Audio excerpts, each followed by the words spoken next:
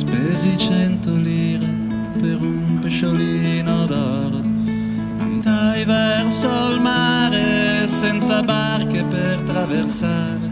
Spesi le mie ultime cento lire per un pesciolino cieco.